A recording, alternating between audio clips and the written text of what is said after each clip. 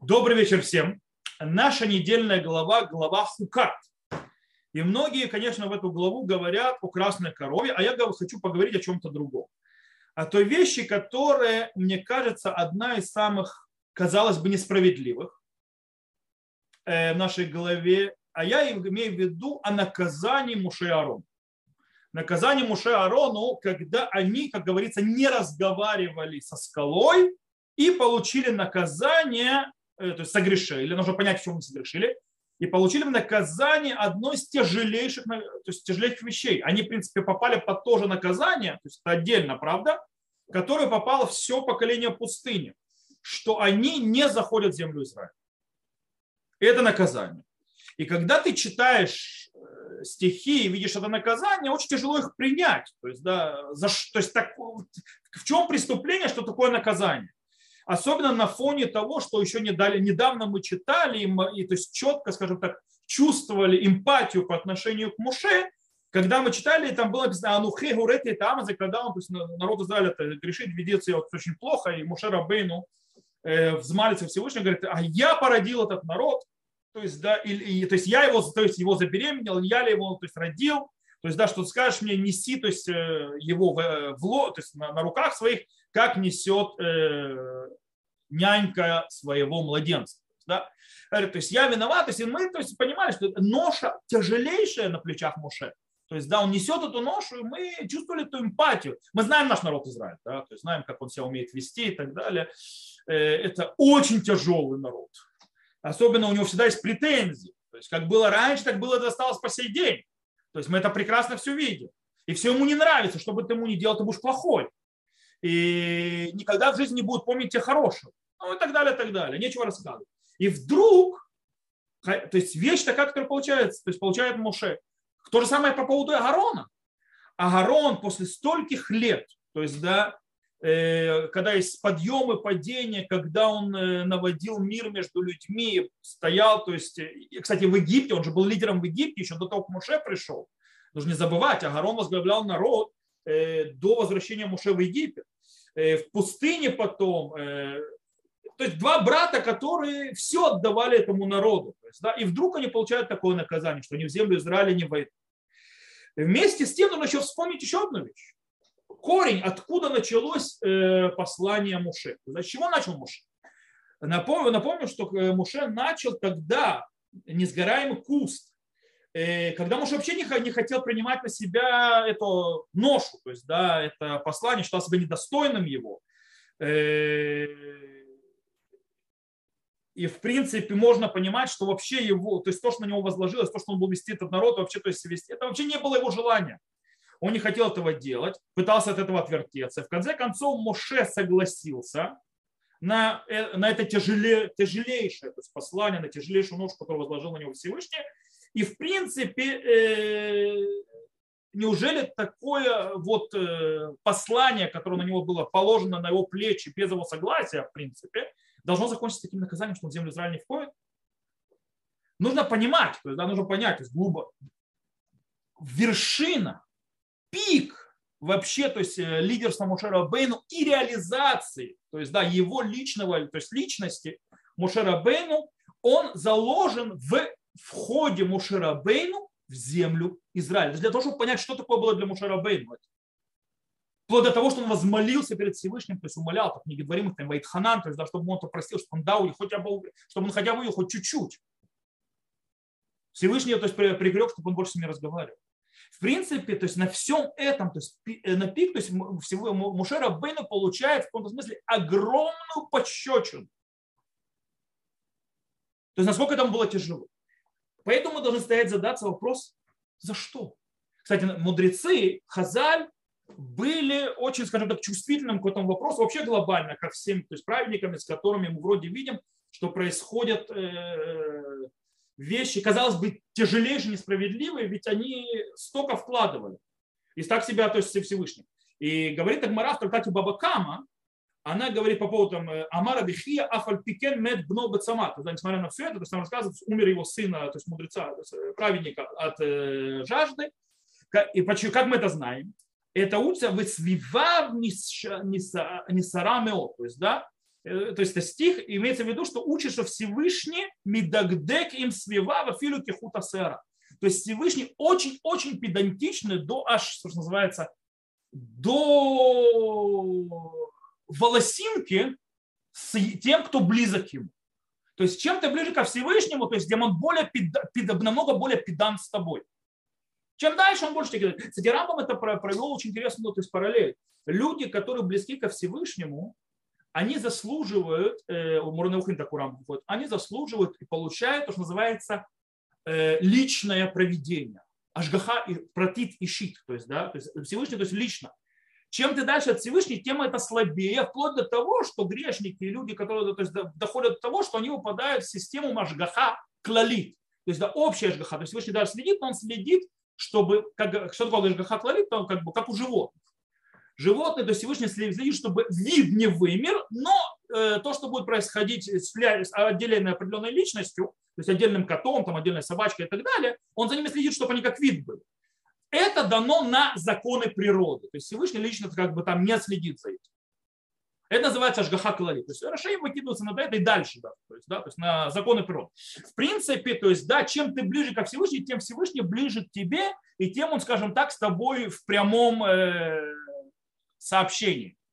Вот. Э, и мы это знаем, то есть, да, э, все равно несмотря на все это, то есть, да, и вот это вот учение, не отвечает на вопрос, на, то есть, да, на, на тяжелый вопрос. Почему Мушарабын такое наказание? Забрать у него пик развития его личности. Через столько, после стольких лет. У Арона тоже. Для того, чтобы э, понять э, наказание, почему такое наказание, нужно немножко обратиться и понять, в чем согрешили по-настоящему Мушарабыну. В чем был грех? В чем был грех с этой водой? То есть, да, напомню, то есть рассказ, то есть, да, Всевышний говорит им, что они должны, э, то есть воды нет в пустыне, Всевышний, то есть говорит, э, Муше обращается, Всевышний говорит, то есть освети меня среди народа, э, поговори со скалой, и она даст народу, э, то есть даст воду, Муше Рабейну вышел и сказал, то есть вы народ, то есть как бы восставший и так далее, и ударил по скале, и вода вышла, то есть она вышла, но как бы был промах, то есть это был грехом. В чем грех? И, скажем так, э, комментаторы приводят несколько объяснений этому греху. Э, такие, другие, допустим, Рамбам в Мурена Вухим, то есть в э, путеводителе заблудших, например, объясняет, что проблема была Моше, то, что он разозлился. Впервые. Он разозлился, и это страшный грех, и за это был наказан. Проблема в комментарии Рамбама, объяснение Рамбама то есть по поводу зла, то есть злости, то есть раздражения, то есть гнева, который был пробужен Муше, э, проблематично в том, что у нас нигде это не написано, скажем так, прямым, то есть, скажем так, и написано прямым путем, и в тексте вообще то есть, этого нет. Э, это Мидрашим и так далее, но в принципе нет этого прямого текста. Это немножко проблематично. То есть, да, почему, если такой грех, почему Всевышний, скажем так, не пишет прямым текстом? Э, есть другие объяснения и другие комментарии пытаются определить, что грех был в этом, или грех был в том, и так далее. В любом случае, они, вокруг этого греха и его определения очень все такое туманное. То есть, да, в именно грех. Поэтому попробуем, давайте немножко обратиться к стихам и попробуем мы немножко разобраться, в чем же грех, как сам говорит Всевышний. То есть, как, что Всевышний. Для этого нам нужно обратиться в конец Торы, в главу Гаазим. И там э, это 40, 32 э, то есть глава, то есть глава, в главе Азину, в конце главы Азину, начиная с 49 стиха, сказано так. То есть описывается, в принципе, последнее действие, когда Мушарабейну поднимается на горный вол, для того, чтобы посмотреть на землю Израиля, там писано следующее. «Взойди на эту гору Авари, Авари гору Нево, что в земле Моавитянской, которая против Ерехо, и обозри землю Кананейскую, которую я нам Израиля во владении и умри на горе, на которую ты взойдешь, и приобщися к народу твоему, как умер Агарон, брат твой, на горе Оры приобщился к народу своему. За что, что вы не верили мне среди сынов Израиля? При водах Мериват Кадеша в пустыне сын за то, что не явили святости моей среди сынов Израиля. Вот издали ты увидишь землю это, а туда не войдешь, и землю, которую даю нам Израиль. Здесь описан с точки зрения Всевышнего. Проблема в том, что перевод исказил и убрал нам очень важные слова. А я сейчас прочитаю на иврите, чтобы вы поняли и услышали. Это очень важно. Аль-ашер маальтем би битох бне Исраэль бемей мериват кадеш мидбар цин, аляшер ло кидаштем оти битох бне Исраэль. Маальтем, что такое маальтем? Понятие мейла. Мейла – это галактическое понятие. Мейла говорит мааль бетавкидо. Мааль бетавкидо это называется, то есть э, у него была за него какая-то задача поставлена, и он провалил ее.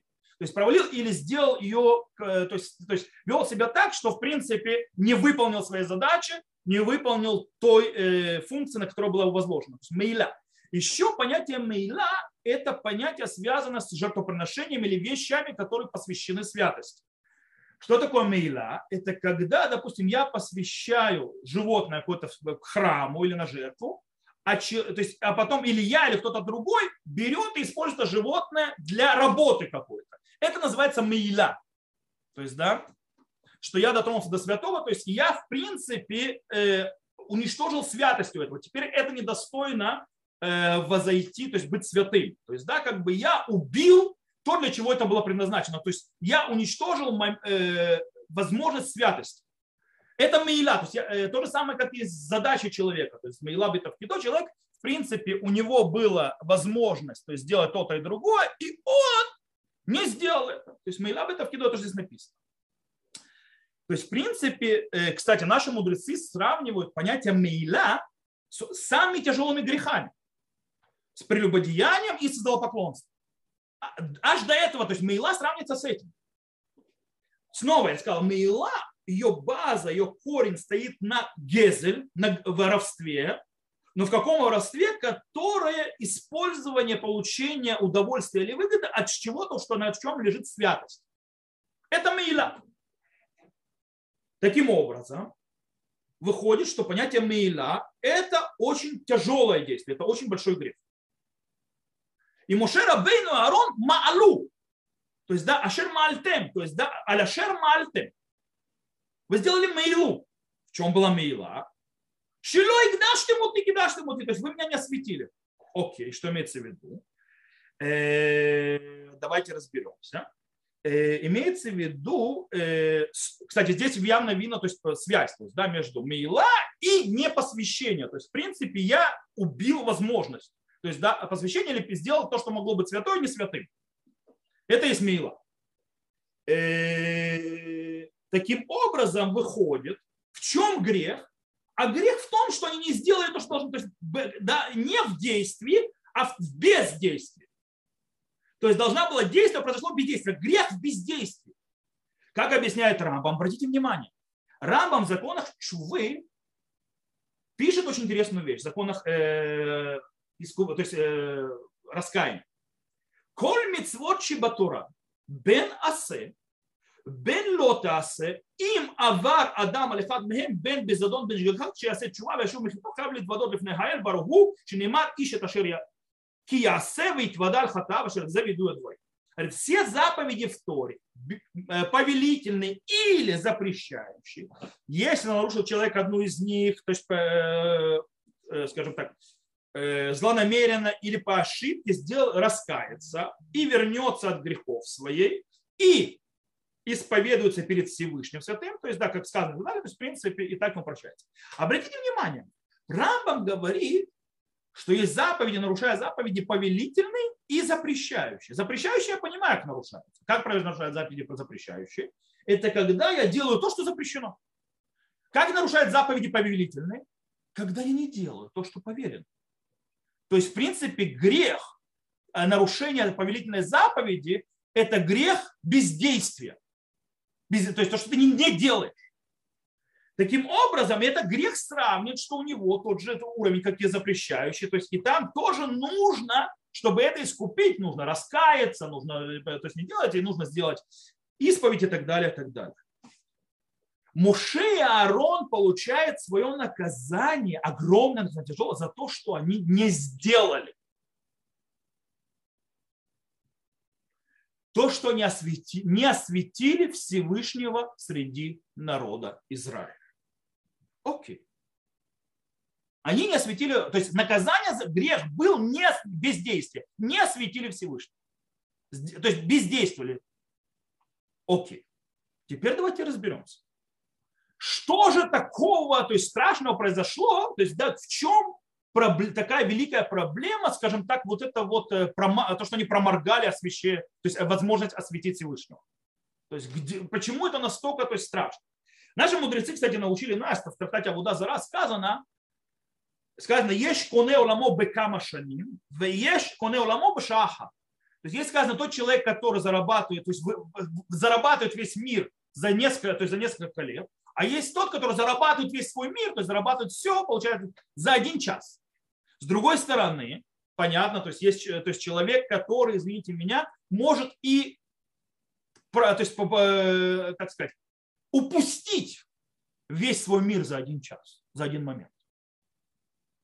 Когда произошло что-то важное, и этот момент был упущен. Окей. Таким образом, давайте разберемся. А что ж такое огромное и важное должно было пойти в тот момент, когда Муше вместо того, чтобы говорить со скалой, ударил по скале? Давайте разберемся. Э, что сказано? Снова в, тот, же, в тот же главе Вази. Ну, давайте прочитаем снова. Ашерлу кидаштему ты бетох бне Исраэль. Смотрите еще. За то, что вы не равняли среди сынов Израиля при водах Марива Кадеша, за то, что не явился в святости моей среди сынов Израиля. Окей. Тут есть две, два аспекта. Первый. Количественный аспект. В чем имеется в виду? Освящение Всевышнего, которое могло произойти здесь, какого бы оно ни было, оно должно было произойти на глазах всего народа Израиля. Всего. То есть, в принципе, все, весь народ Израиля видел бы Муше. Видел бы Муше, э, что Муше подошел к скале, поговорил со скалой спокойно, то есть, да, без всяких ударов и так далее. И вода, выходящая из скалы после этого разговора. Это что они должны были увидеть. Это чудо. То есть открытое чудо. Муше разговаривает со скалой, неодушевленный предмет и вода начинает выходить. Это чудо, которое должно было произойти у них, то есть это Нес но у них в глазах.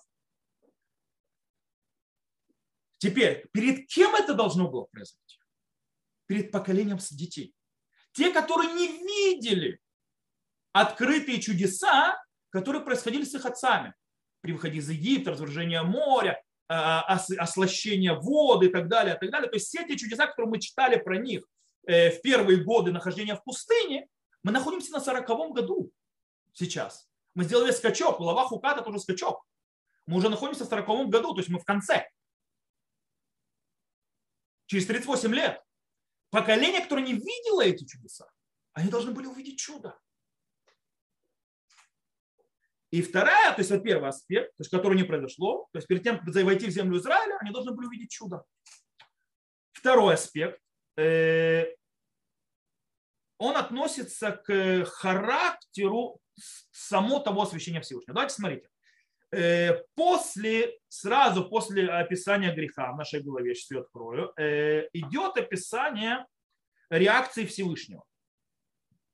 Это у нас в нашей голове, сейчас я 5 секунд открываю. Э, это 20 глава, 12 стих, смотрите. И Господь сказал Муше Аарону, за то, что вы не поверили мне и не явили святость мою перед очами сынов Израиля, не введете вы общество это в землю, которую я дал вам. Как мы сказали, то есть, да, что это освящение Всевышнего произошло почти на глазах народа Израиля, то есть видение народа Израиля. Народ Израиля должен был это видеть. есть очень интересная вещь. На что это похоже? Сказано что одно, одна фотография стоит иногда тысячи слов. То есть один раз увидеть стоит намного больше, чем много раз услышать. Им рассказывали про эти чудеса. Увидеть. То есть э, освящение Всевышнего, прошу прощения, правлю немножко камеру, а то она что-то какая-то перекошенная. Вот. Э, оно должно произойти было тем, что они увидят. Хотя иногда говорят, что э, видение это более материальная какая-то вещь, то есть, а вот слух как раз наоборот более духовный. У нас в буддизме немножко по-другому. Мы предпочитаем видеть, чем слышать. Кстати, это где это мы, мы это знаем, откуда мы это видим? Мы это видим из э, дарования Торы. Мы это видим из описания э, Синайского откровения. Вехола ам роим это колот. И весь народ видит голоса. То есть огромное такое, то есть э, мама, то есть такое вот э, раскрытие и так далее, настолько э, удивительно, как дарование Торы. Вплоть до того, что народ Израиля умудрился увидеть то, что человеческое зрение вообще видеть не может. Они увидели голоса. То есть звуки. Увидеть звуки, не услышать, увидеть то есть подняться намного то есть выше. То есть, да, насколько это видение э, считается, то есть понятие видеть намного выше и понятнее. Кстати, даже в Йом-Кипур, когда мы молимся, то есть, знаете, после того, как мы говорим, то есть э, службу первосвященника в храме, правильно, потом говорит Ашея Ай Шерата Зот, ой, то есть мы говорим, то есть счастлив тот глаз, который это видел, а не тот, который это услышал. То есть, да, то, что мы то есть, как прочитали, то есть работу Коин Гадоля, первосвященника в храме, это то, что мы слышим. Ну, счастлив глаз, который ты видел. То есть, да, все это. Э, то же самое происходит здесь. То есть, да, здесь похоже, то есть в принципе, кстати, похоже есть и то, что ты видишь что-то, что ты не можешь видеть, и связано э, с голосом, это э, у пророка Ишаяу, кстати, в 40 главе, где описывается конец времен, где сказано «Венеглак водашем, верау коль басар яхдав, пикипи гашем дидер» то есть, да, и раскрылся, то есть, великолепие Всевышнего. И видела все, то есть, вся, всякая плоть вместе, как э, э, называется, род Всевышнего говорил. Когда он говорил, он, они видели его слова. Видели слова. То есть, в принципе, э, мы снова придем в конце времен для вот такой возможности, мы, уви, мы увидим глаз Всевышнего. И реализация. Окей, кстати, есть еще одно, то есть, да, насколько вид, вид, видеть, там, ну, насколько это важно, насколько это сильно, насколько это мощно. Есть понятие видеть, кто нас видит, что свидетель, правильно? Свидетель, в мире понятие свидетельства есть в иудаизме, в Галахе два аспекта понятия свидетельства. Первый аспект называется идут э, либерура давар, то есть да, это свидетельство для выяснения то есть вещей. И второе, идут ли киюмадавар, то есть это э, свидетельство для того, чтобы произошла вещь, для того, чтобы мы ее зафиксировали, для того, чтобы у нее была сила. Э, когда мы говорим идут ли беру, то есть да, когда у нас свидетельство для выяснения, это весьма техническая вещь. То есть, да, то есть мы должны выяснить то есть, э, какое-то обстоятельство и так далее. То есть и для этого мы выясняем вещи, это свидетельство. Когда мы говорим о идут ли киюма давар, то есть, да, то есть свидетельство ради для того, чтобы получить статус какой-то, то есть для того, чтобы что-то закрепили, для того, чтобы что-то произошло, э, это, нам, это намного выше и дальше. Например, то есть, да, нужны свидетели на хупе, то есть на, на кедушин. Зачем? Потому что без свидетелей нету кедушин. То есть свидетели делают так, что обручение, то есть брак, брак состоят, происходит, между мужчиной и женщиной, у него есть статус, то есть он происходит, без этого нет брака. То есть это что-то творит. Это похоже еще, то, что наши мудрецы говорят. Мы говорим вайхулу. Значит, что вайхулу нужно говорить стоя, и нужно говорить минимум, чтобы два человека это говорили. Зачем? Потому что то, что мы, когда мы говорим в синагоге или потом дома на души, то есть, ну, в принципе, в основном в синагоге, Ваихулу, мы делаем, мы свидетельствуем о сотворении мира. И сказали наши мудрецы, когда мы так свидетельствуем, мы становимся соучастниками со Всевышним в творении. Вау. На секундочку. И, э, понятно, что это имеется в виду, идут ли к юмадавар, то это свидетельство для того, чтобы подать статус, для того, чтобы укрепить, сделать что-то. Э, то есть, в принципе, э, как бы свидетель становится участником действия, которое, как бы он, о котором он говорит. Это то есть имеется в виду. Э, понятно, что человек не становится соучастником в творении мира в простом понимании, то есть типа он не становится полубогом или э, замом Бога, то есть понятно, что не об этом, а имеется в виду, э, Всевышний действительно он един, он единственный, кто творит мира, он единственный, кто это делает и так далее. Но что имеется в виду? Что в свидетельстве в этом есть подтверждение то есть как бы, и укрепление, что мир был создан Всевышним, что является по сути освящением имени Всевышнего. То же самое здесь. Потенциал освящения Всевышнего, которое стояло перед Муше и Аароном в тот момент, был просто огромным. Освящение имени Всевышнего перед глазами всего народа которые, то есть, да, приходит это освящение через их взгляд. То есть, э, э, открытое чудо, которое они не видели еще никогда. Они только слышали то, что у их отцов это происходило. Они должны были увидеть, перед, причем в очень важный час, перед входом их в землю Израиля. И это Муше, Рабейну и Гарон, то, что называется,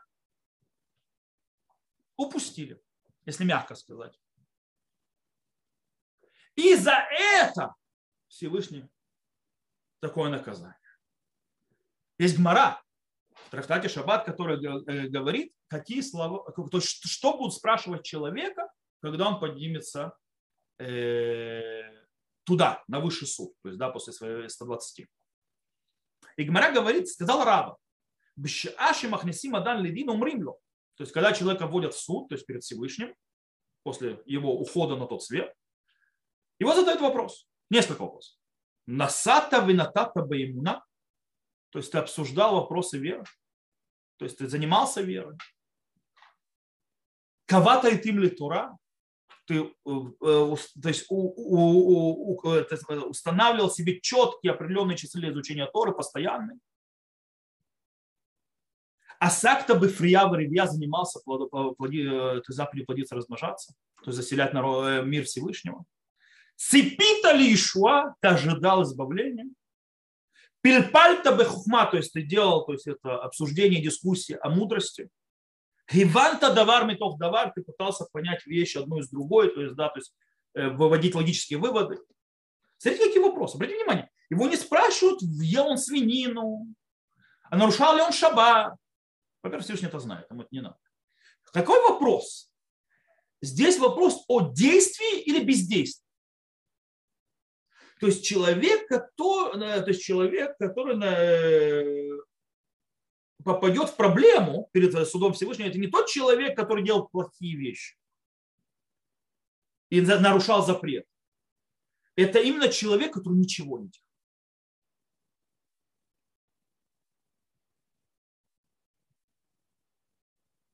То есть евреи, которые не участвовали в дискуссиях по мудрости, по не, то есть не устанавливал себе время на изучение Тора, ну и так далее, и так далее, и так далее. Он ничего не делал. И это самые главные слова, которые спросит на суде Всевышнего, то есть после его 120. Потому что иногда бездействие намного-намного хуже, чем отрицательное действие. И то, это то, что нас учит вот этот вот рассказ про Мушера Бейну и про этот грех, и то, что произошло, и наказание насколько большое, насколько нас учит, насколько мы должны заботиться о нашей жизни, чтобы, не дай бог, мы не занимались бездействием, чтобы мы то есть, э, не попали на тот, в ситуацию, когда мы придем после наших 120, и Всевышний нам будет задавать вопросы на суде. Сделали мы то-то или то-то, и мы то есть мы ничего плохого не сделали. Вроде были люди хорошие, но мы ничего не делали вообще. То есть мы бездействовали. И это один из страшных грехов. И стоит его очень сильно опасаться. Безраташем, что мы удостоились много действовать, нести хороших действий и не упускать шансы осветить имя Всевышнего. То, на этом я думаю, что можно закончить. Э, тот, кто слушает записи, всего хорошего, до новых встреч. Записи на этом моменте выключаю.